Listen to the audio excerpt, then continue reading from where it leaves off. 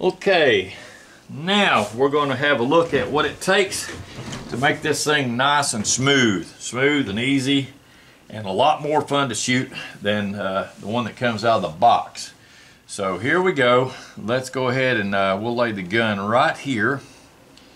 I try to get my frame where it'll stay within that paper towel. Here are the nice springs that we're going to use. These springs, let's go ahead and lay this like that. This spring here is for the recoil.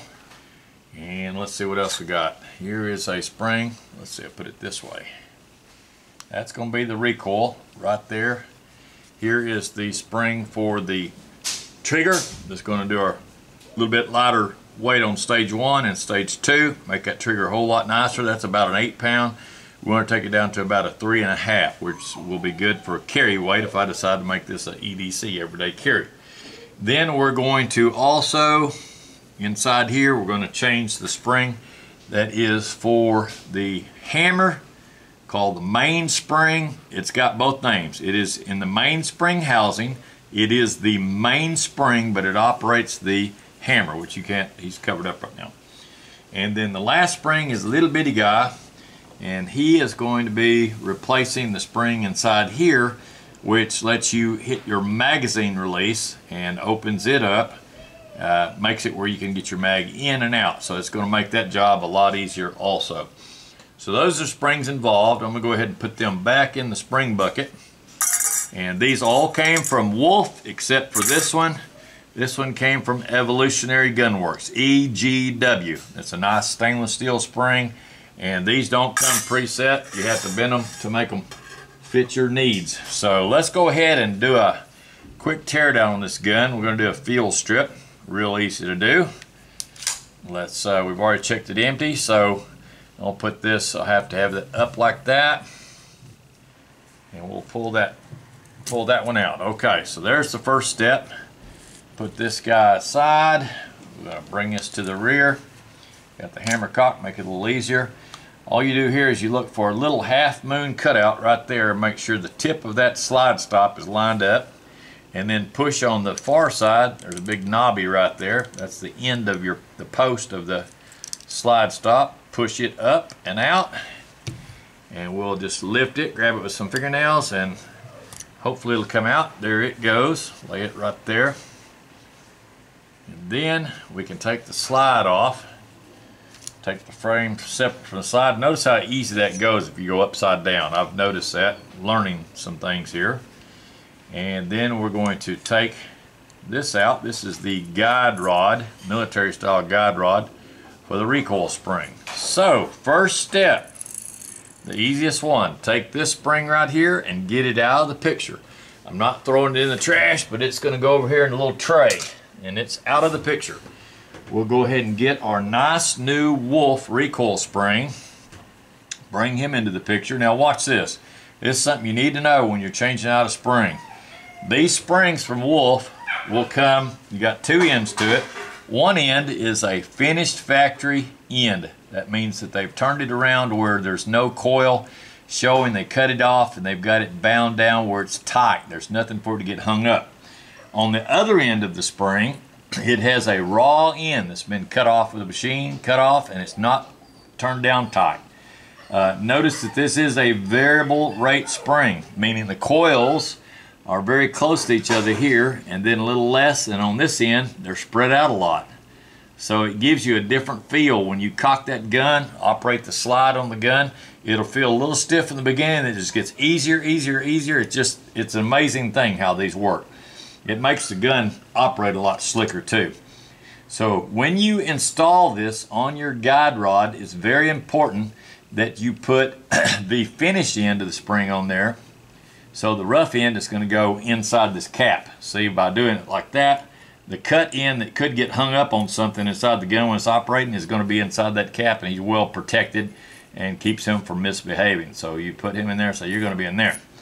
At this end, usually if it's a Wolff spring it won't slide on there because you want it to stay part of the picture you want it to stay together with that rod. So if you go to push it won't go. If you turn the spring one way it will act like it's just threading it. It's expanding that spring a little bit and the next thing you know It's as far as it can go, and then you stop.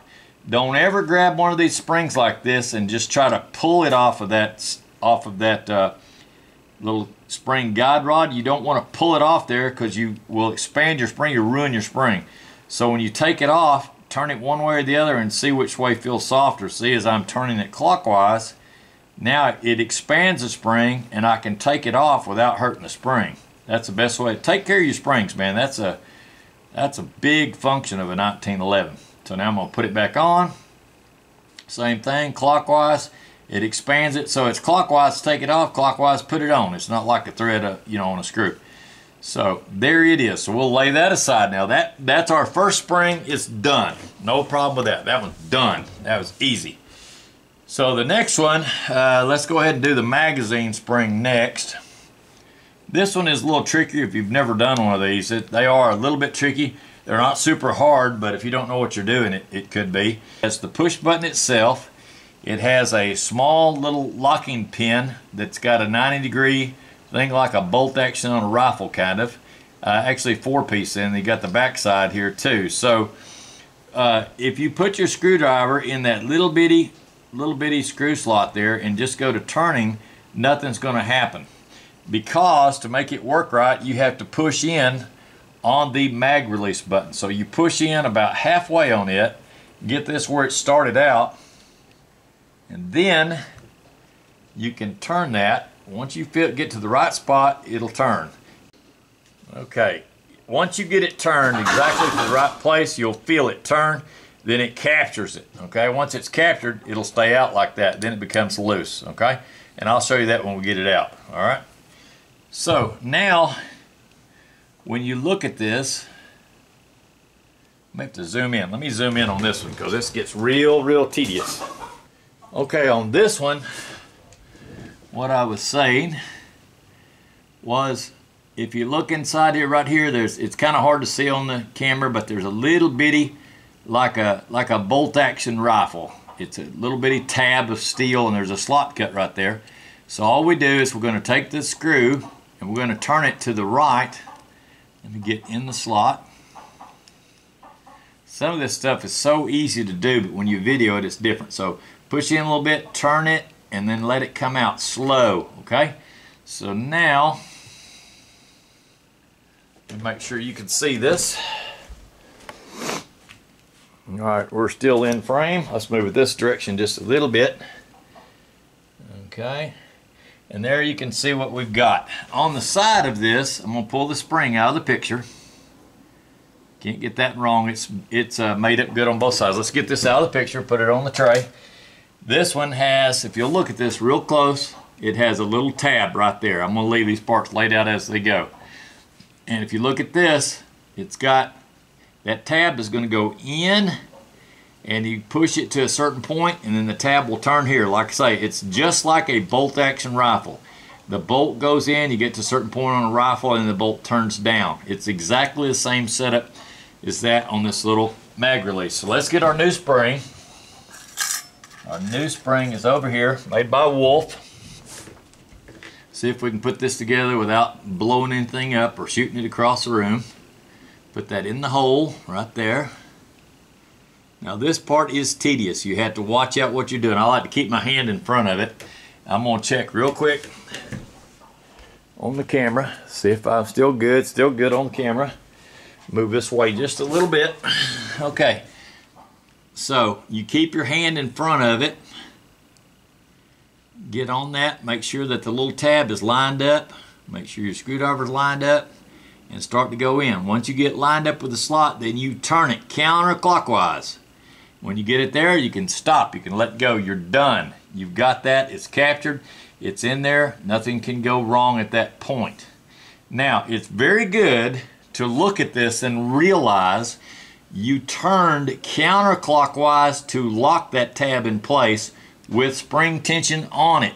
So the spring is in there, which means when you put this in the gun, you're going to have to push the button a little bit, just like when you took it out, and you've got to turn clockwise to release it so that it stays in the gun and functions properly. So now I'm to expand this back out. Remember, clockwise is going to release your spring. And if you see this and know this, man, it makes makes life a lot easier. Otherwise, you're shooting in the dark and guessing, and you don't want to do that when you're gunsmithing. So we put this in, you can tell how it goes. There's no way to get that wrong. Put that in there like that, it's in now, okay? And then we got to have our finger on the other side to operate this. So put the finger there, give it the finger, and uh, get in your slot for that. Make sure you're in the slot, unlike me. Okay, now I'm in the slot. Then you push up on it a little bit, get to the right place. That will turn. See I turn clockwise? Then you let go. All right, then make sure it'll function, okay? Now we can test our work and see if we accomplished anything good. Here's the first test. Empty mag, put it in there, and see how hard it is to get over that new spring. I can already tell that's about half what the other one was. That's a lot, lot easier, okay? Then we push the button, see if we have to stand on it. Hey, guess what? We don't have to stand on it now. Look at that. It comes out nice and smooth. Now, if this had some pressure on it from being up in there, it would really pop out good. But right now, it's not put together all the way. But you can see, watch, I'll pull on it, put a little pressure, pull, and it's very easy, okay? So that's a valid test. Pull in just a little bit, push the button, barely push, and it comes out easy. So that's a big improvement. That made that a lot easier. Now, it will, like I say, it won't pop out now because there's nothing, the slide's not on the gun. So don't, don't beat me up too bad. If I push that down play like slides there, watch what happens. Boom, it comes right out. So that is a much nicer spring. My wife will like that. That will mean when she picks up my GI gun, she'll go, oh, that thing is nice. Boy, that thing is, that thing is slick. That thing is nice. That's what you want. You want your wife to be able to pick up your gun and hopefully she's not uh, chasing you with it and uh, go out and do a little target practice and everything smoother, nicer. So we've got two springs done. Which ones? We got the recoil spring done. It is now a 14 pound variable rate recoil made by Wolff Corporation. We have a magazine spring, magazine release spring right here that has been replaced. And they sell these, Wolff sells these in a package. I think there's a variable package. Mine was a one, two, three, four. I believe it's a number two. It's a mid-band, but it is definitely reduced over government. This company goes way above government. They just do. All their springs are a lot heavier duty than what even John Moses Browning had had in mind, and they're they're trying to make it last longer or something. I don't know, but they they're real heavy. And uh, you get on a 1911 forum, talk to people about the TISAS, they'll all say the same thing. Springs are oversprung, too heavy. So now that's fixed and the recoil spring's fixed, more to my liking. Say, what's next? The next one is up inside here. We got to get up in there. It is a tough, bad boy. It is a tough, look at that spring. Man, that's a squatty body. It's small diameter. You can see that the coils themselves are very large diameter for that size spring. That is a serious spring. The one that's supposed to be in there from the factory for a GI gun should be 23 pounds. This one's about a 30. The one I'm putting in is a not a 24. I'm putting in an 18. It's reduced. Remember, the reason you can use a reduced spring on these is because the striker in these now is smaller diameter and it's titanium so it flies a lot easier. The other spring we're going to replace is the one that deals with the trigger. So we can do that when we get this off. We'll do both at the same time. Let's start off with getting this apart. All right, step number one, very first step. Let that hammer go down. And when you do that, uh, ride it with something. Don't let it slam into the frame. You don't want to do that. So ride it with your finger and uh, pull it real careful and just let it go down nice and gentle. What that does by putting your hammer forward is that takes the pressure off your mainspring housing. The next thing I like to do is get you a little book like this, something you can work with. Put it like that, just a soft little notebook. Lay your gun like that. Make sure you can see it good. Put this right out here. I have to check my camera, make sure everything's kosher on it so y'all can see it good. I'm going to zoom in just a little bit on this so you can see what I'm doing. I want to zoom in just a little bit on the pin so you can see this detail. They say the devil's in the details, but I, I don't like to use that term. I think it's just the opposite of that. I think the Lord's in the details. So here we go with details. So you need a nice tool for this job. I went on Amazon and I ordered this tool right here. This is the tool you need for this job. This is a punch and it is a small punch. I bought the smallest one because we're going to use this for something else inside there. This punch is a 1 16th. So uh, I've bent it a few times. You can bend it back. But anyway, that's a 1 16th punch. Now on these guns, I know it's hard on the video to see this, but there is a pin right here. Now this pin, I'm going to put the end of my punch on it, is hollow on one side. John Moses Browning, is a genius. And on the other side, the pin is round-headed, polished round head pin. It kind of gives you a clue which way you need to go. So we're going to take the punch, put it in that little hollow part of the pin, and drive it out with my big hammer. This is where you get to laugh at me. Here's my big hammer. When you get, get a hammer like this, always make sure you turn it where your opening is, uh, is on the hammer side. Just a, a few good taps.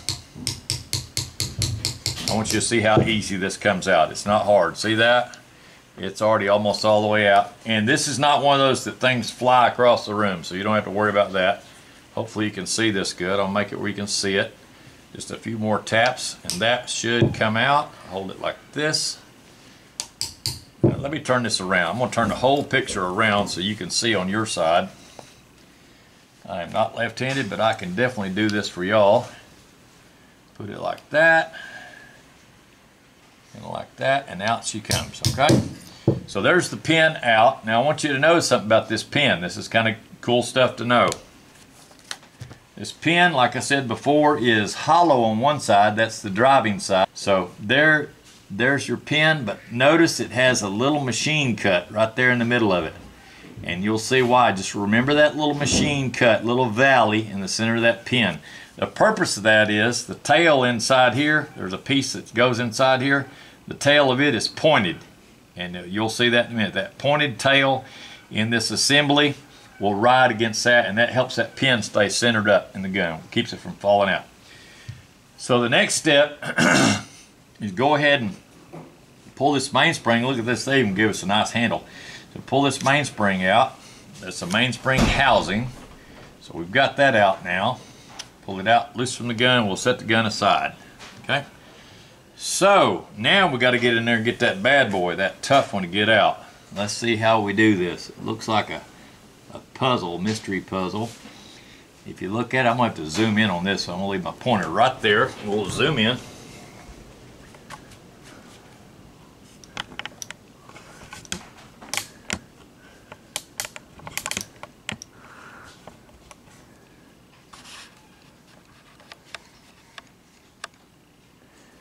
Okay, that is a tight fit in the picture, but we'll make this work. So, if you look at this very closely, right there is a little bitty hole, all right, where that is, and turn it over on the other side. There is a little bitty pin. These, this pin has a flat head on it. They've machined it out very carefully where when you put that pin in all the way, that flat head lets that sit flush. So when you put that in the gun, Put that in the back end of the gun. John Moses Browning, I'm telling you, that guy was a genius and a half.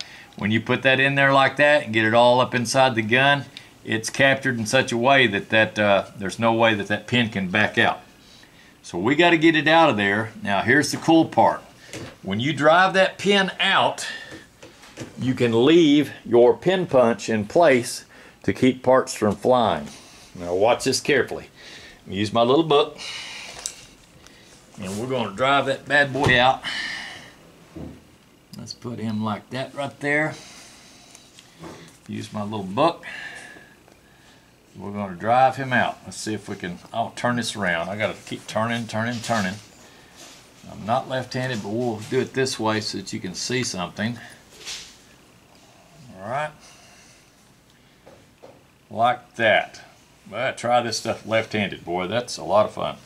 So when I drive this through, this pin is going to come out and the pin punch is going to hold that mainspring housing in place. Hopefully it won't shoot across the room. Alright, there we go. We have success. Now let's look at this. Got a little shadow here. Get the shadow out of the way. This is the smallest part of your 1911 gun as far as I know is that little bitty pin right there. Now, so how do you keep that from shooting across the room? Because I'm bad about shooting stuff across the room. I'm going to tell you right now, the only thing that's holding that mainspring in there is that punch. See that? Let's see if that's showing up on video good.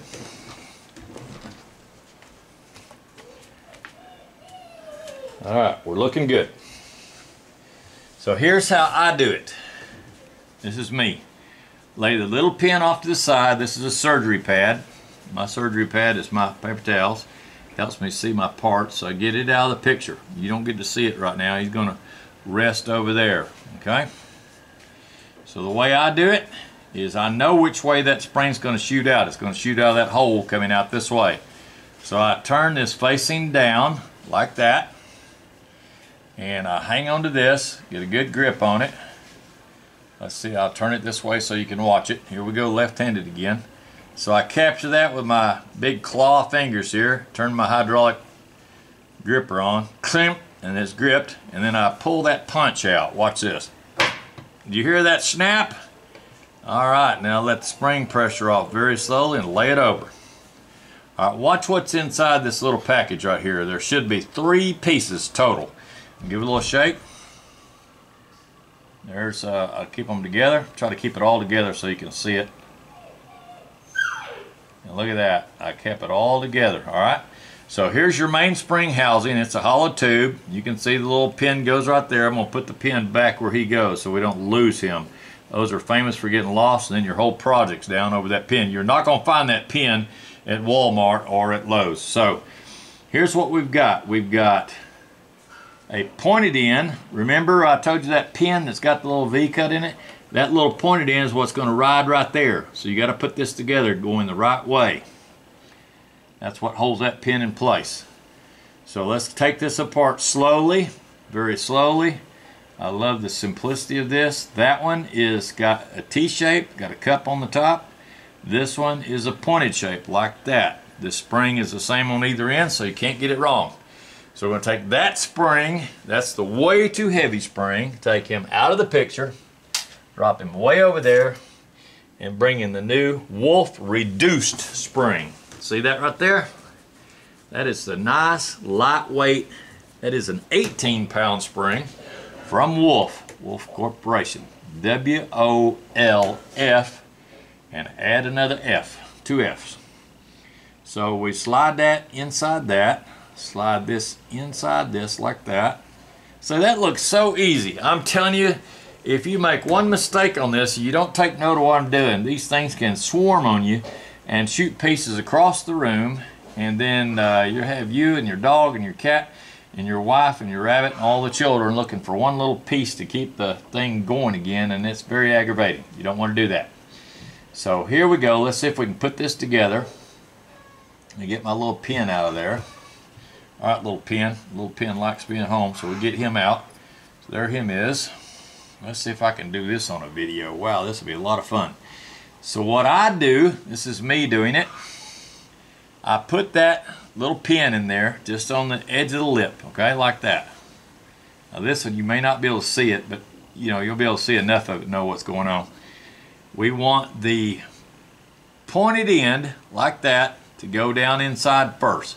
So the pointer is going to point the direction you want to go, which is down inside the hole in the mainspring housing. So we're going to push it in there, and you're going to get to right there, and everything's going to stop, okay? This is the part where it gets tricky. Uh, I like to have something to hold that for the video. So what we'll do, you do not have to have this, but this is what I do put me a block of wood. Put me a block of wood right there This happens to be a piece of three quarter inch oak. Let's see which way it goes the best. Let's put it like that where it's flat on that end. That'll be fine, okay? Check our video. And we're going to expand this out a little bit.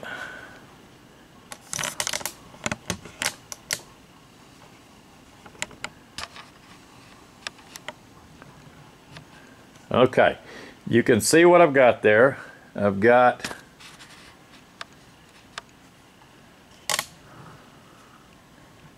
I have the mainspring housing. Mainspring housing. I have my punch. What we're going to do is, I'll review this with you. We've got the little bitty pin that's going to hold this whole apparatus together. That's our locking pin. We've got the spring in here, we've got the pointer on the other end of it, and we've got this flat one with the cup in it. Our goal is to push that whole apparatus inside the mainspring housing and capture it. So you don't want to go pushing like this because it's going to just go all over the place. You could put this in a vise if you wanted to.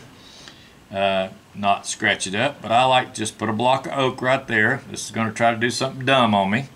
So I use this thumb right here is going to seat that pin, but I've got to get past it first. So here's what we're going to do. Put my plunger right there. I hope you can see some of this. Let's see. Maybe I could turn, I'm going to turn this whole thing. That's what we'll do. We'll turn it. We'll turn it sideways. Put it at an angle, oblique angle like that. I want you to see the details on this.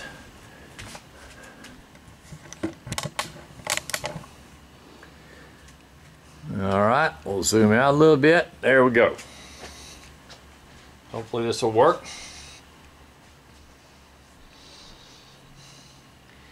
Okay, now then, we're going to push this in. This is where you use smart muscles. Push it in, feel for it, wiggle it, and push and push and push. There we go. Got it. See it try to misbehave because I was on video, but I got it. Had to push a little harder. You've got to get past enough that you can get that pin in there. Once that pin goes in, now you have a mainspring housing. That's ready to go. Mainspring housing resprung with lighter spring. That's a lot easier to do that than it is with the spring that was in it. Now, the last step is we got to change out our spring for the trigger. And that's this guy right here. So to change it out, we've got to get the old one out of the gun. That's where it gets a little bit more complicated. And it really does, but it won't be too bad. Let's get the gun up here like this. We be able, we've got to be able to get this part out. So what we do on that is leave that hammer to the rear and we take this thumb safety it's in the down position, which is safety off, there's safety on. We got to get between those two positions, between the two, and start pulling on it. So we get it right between the two and start. Okay, there we go. Finally, that one comes out. Lay him aside. Lay all these parts aside. And we can take out the grip safety. So grip safety's out of the picture now. And you can leave all these pins in. You don't need to take the hammer out. You don't need to take the sear out or the disconnector. You can leave that all in place. Here's what we're after right here. We're after that little spring. So get that hammer out of the way and get that little spring out right there. Watch him come out. That's a black one, boy. It's almost uh, camouflage. See, there him is. So this is the factory one. We want to lay it aside, get it out of the picture. I always like to get the stuff I'm taking out, way out of the picture so I don't accidentally put the same piece right back in. I know nobody here has ever done that, but I've done it plenty of times. So now let's expand out. This will need a little bit more room to make this work. This next step is not too hard, but it's a little bit detailed. You need to have that hammer up forward, so get that up forward like that. You want this strut to be up out of your way, so get him up like that. And then you want to lay this new spring, this was the one for your trigger, This does your guard, your, uh, excuse me, your hand safety, grip safety. It does the grip safety on this side and the other two do the trigger. So we're going to lay that in there like that. And it has a slot right there in your frame. I'm going to point that out to you. It has a slot right there in the frame. There's your slot. And this has a tab of metal on the bottom of it that fits in that slot. So all you do, make sure that this lays flat because this is going to ride your, your disconnector, your sear, and all those parts that are the main trigger parts. This is going to lay right on them because it's what operates them. So you have to kind of lay that up in there gently. Lay this in there gently. It'll try to slide and fly all over the place on you. And once you get it in there right, that'll fall down the slot, okay? So you get that in the slot, make sure it's sitting up on top of the pieces.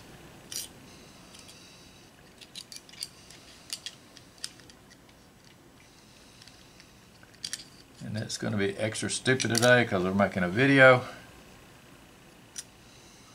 Alright, there we go. That will give you a little bit of a fit. So there you go. It's in there and it's laying on top of the pieces, okay? Now to capture that like that, you grab up your mainspring housing right here. It's got male fins on it. They go into female slots. Get that lined up. And then slowly go up on there until it captures that spring, okay? You don't want to go too far. See, there's plenty of room to pin it right there, but you got to leave yourself enough room to get your grip safety back in place. So, the thing that you got to do first before you can do that is you have to get this tail piece coming down. So the tail piece goes down, so where's it going to go? Well, if you remember on this mainspring housing, it has a cup right there. A little hole. That's what your spring is located inside there on that little cup. So that tail piece has got to go in that cup. It's not hard to do. I like to just grab it with something, a little pointer or something like that, a little tweaker, a small screwdriver, and kind of get it started. You know, keep sliding it up, sliding it up. Slide up your mainspring housing until it's starting to, you can stand it up like that, get gravity work to work with you a little bit. Uh, like I say, so many of these things on a video are twice as hard as when you're doing it in real life because you want to have everybody see what you're doing. So now you double check that. Make sure that that long strut is inside the cup. And I did that by holding it in place and then bringing this up and you can see we're almost there. So the next step is to be able to get this grip safety in there. See if I can do that where you can see it good. I may have got it too tight. That's another thing you got to watch out for. You'll see that here in a minute. So we go in there like that. Hey, I did not. I left just enough room to get it in there. So then we're going to put the pin that holds that, that is your thumb safety, get that in there like that. So it's pinned now, okay? Usually when I get that pinned at that point right there, I stop everything. I want that captured where it can't get away. So I make sure my safety's down and then I pick up my pin that I'm gonna drive in there, which is right here. I look for the round end because I want to stab that in that hole, stab the round end in that hole. And then I stand up the whole rig, get my big hammer right here. This is my favorite hammer. You can use any hammer you want. And I set that down on that ring and I push. Push hard, give it a little tap. Once I get that halfway in there, it's captured. There's no way it can get away. I don't even worry about that till the end of the whole process. Next, next project, I pull that hammer to the rear, get it cocked, and then I start feeling for that to be a halfway point. When it gets to halfway point, it will slide right in there. Now, sometimes you have to help it a little bit on this little plunger. Get him like that, and look at that. Boom! Now you check it, make sure it feels normal. Let your hammer down gently, which I did, and then the last step, go ahead and put that pin in. So on the pin, we get out our notebook again, so we don't poke a hole in the table. I take my punch right there in the hollow side of the pin, like that, and my big fancy hammer. They don't sell these at all the stores, but this is the one I use.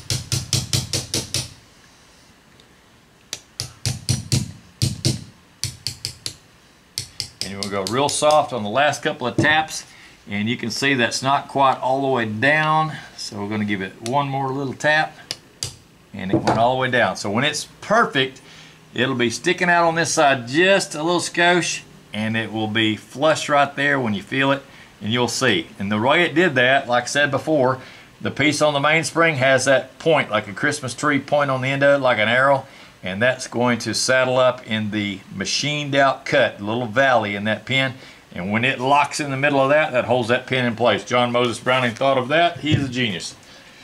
So the last step is we can put the gun back together. So let's review what we've got. We've got a new mainspring housing pin. We've got a new spring that's in charge of the triggers. We have a new recoil spring in here. And then we have a new spring right in here that's for the magazine. So let's put the gun back together. This is easy to do, no problem. We will set this spring. Let's go ahead and run our recoil spring, our brand new 14 pound recoil spring, run it through there. There's the spring guide rod where it goes. Got the little drop link. And let's have a slide. Slide going onto a frame. Put the frame like that. Everybody going on good. Pull the hammer to the rear, make everything work a little smoother. And get our half moon lined up where it goes. I always move this back and forth, make sure I can see the barrel link hanging down. I pin it. As soon as I can see it, I pin it for sure, sure, sure. And then I like to pull this out and make sure I actually got the barrel, and I did. And then half moon, get our half moon. And we'll put that right there. It goes straight in so that you don't make the old uh, idiot mark across your, across your slide. You don't want to do that. Then we will put this, put this nice little cap on the end to hold the recoil spring down. I can already tell you that's a lot softer than the other one was. Get it captured. Okay. Now let's let's try this out. First step, let's do our magazine. We did it before, but now we're going to do it with a slide on the top. See if it's a little easier. Oh yeah, that's a lot, lot better. So now our magazine goes in easier, locks easy, and when we push the button, it comes out a lot easier. So past that step. Next step is how does it feel to cycle the slide? Let's try that. Oh man, so much easier. 14 pound recoil spring instead of a 22 or 24. How does it feel to cock the hammer? Let's try that. Hammer cock. Oh boy, that's a lot easier. Now let's check it for hammer follow. Make sure the hammer's not following. We pull the trigger. Pull the trigger. Keep the trigger pulled. Cycle the slide. Let the slide go forward and the hammer stay to the rear. So that's good. Now let's check out that check out that trigger pull. Let's see if it went from eight pounds, seven and a half, eight pounds, and now, oh, I bet you I get a trigger scale and prove that. Let's do that. Let's get a trigger scale, and we will prove what that weight is. My trigger scale looks like something you'd weigh a crappie with. That's because that's uh, kind of what it is, but it is RCBS, which is a gun company. So let's give this a go here. I'll try to turn this sideways. I think that's legit. Let's turn him like this. Lay him over on his side so he can rest. Let's make sure that is in the picture like that. That's a long draw, so we'll zoom out. Make sure we're zoomed out out, out, out. Look at that. Okay. Now we'll see if we can get a number here. I'll zoom in just a little bit.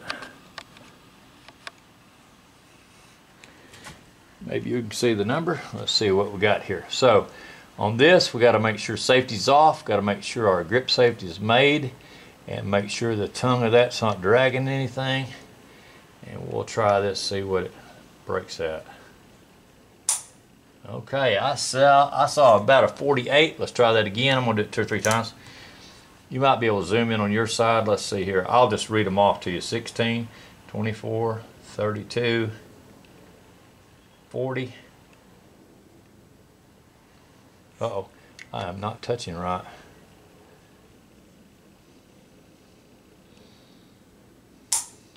Okay, that's a little bit more.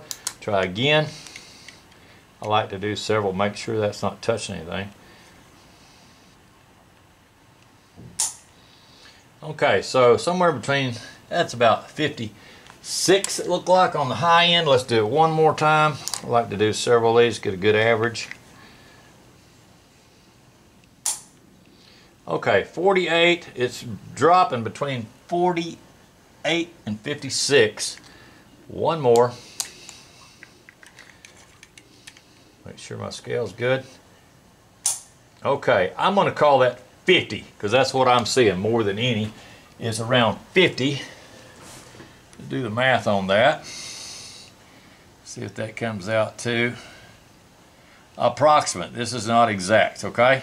But I'm seeing 50 ounces.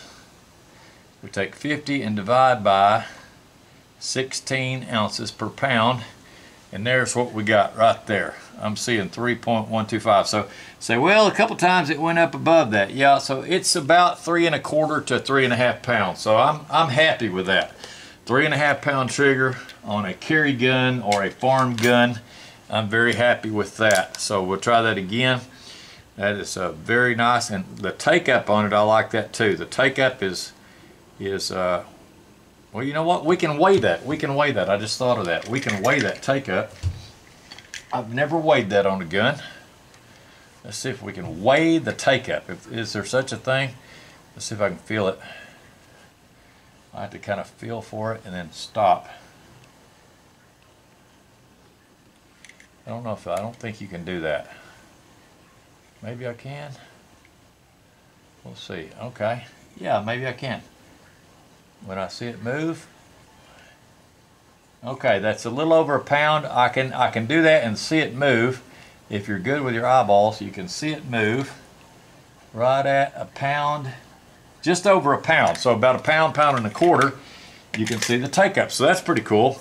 So there's our take up, about a pound and a quarter. You've got to have at least a pound minimum or your trigger won't reset. After you fire it, you want and let your finger off, you want that trigger to come back forward. So that's critical. This trigger is basically a two-stage trigger. You've got the initial take-up, which is your trigger reset. That's the poundage needed to let it reset when you finish firing.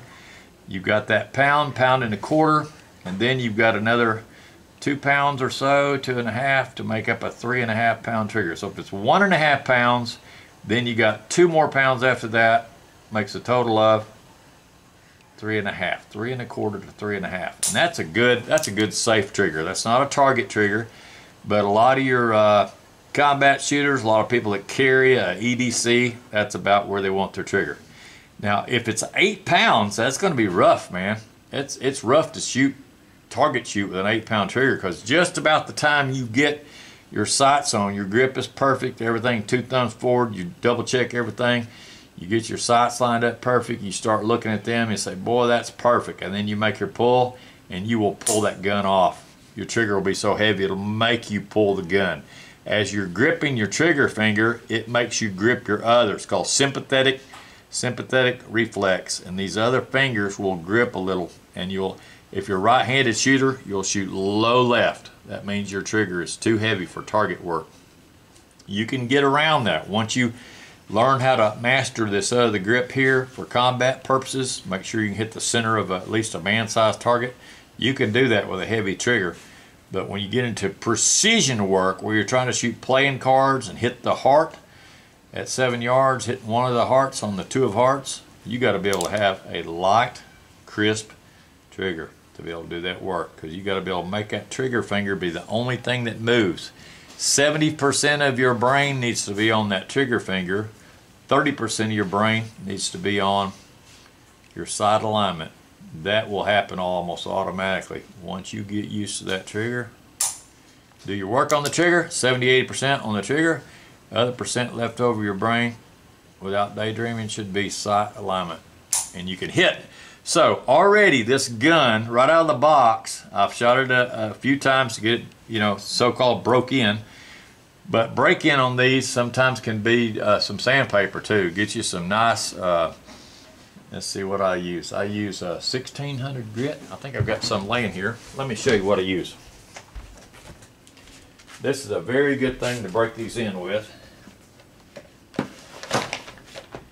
well, mine's a 1200, 1200 grit. So you can take some of this 1200 grit.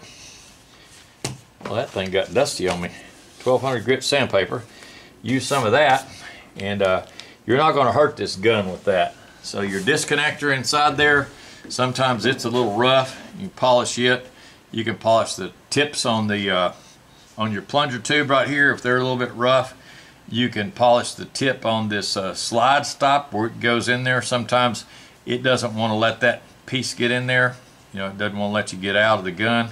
You can uh, polish that. This one is smooth. It's in good shape. I didn't have any.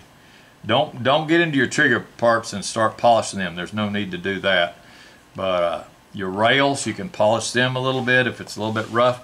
But one of the easiest ways you can make one of these guns be broke in is take it apart, take all the your recoil spring out and just mount your slide to your frame and cycle that back and forth many times. Just cycle it, cycle it, cycle it. Watch you a movie, get you a two hour, three hour movie and just cycle the gun. You know, just cycle it just with a slide on the frame. You can do it that way. Another thing you can do, this is a trick of the trade that I learned from a gunsmith years ago. If your trigger feels like it's got just a little touch of grit in it, when you go to break it, right before it breaks, you feel a little gritty something. It's not a clean break. It feels gritty. Feels like there's a little burr. You can get rid of that without even taking that gun apart. All you do is you take that hammer and lift up on the hammer. Put a lot of pressure on the hammer, lifting up. Make sure the gun's empty. Lift up on the hammer, put about five, ten pounds of lift up pressure on it, and then pull the trigger. And what that does is that makes those two surfaces of the hammer and the sear, the sear's the knife edge, the hammer's got a little got little hooks cut in it, it will make that kind of take those edges off a little bit. Add do the same thing over shooting it a few thousand times, but this is just a quick way to get rid of that little grit. You only have to do it about five or six times. This one doesn't really have any. TISAS does a great job on this pistol. The pistol you see laying here, let me get a beautiful holster to hold it up. One of our beautiful holsters that was made by 1791. Yes, I represent them. Yes, they are my company, 1791. This holster holds that up. That is a beautiful gun right there, and that is built by TISAS. TISAS out of uh, Turkey. But those people in Turkey, I'm telling you, they have worked with our GI guys, our veterans. They have worked with some of those veterans that are located in Alabama, and uh, they've done a great job. They've done a great job with them. So, over and out for now. Wow, ran out of battery.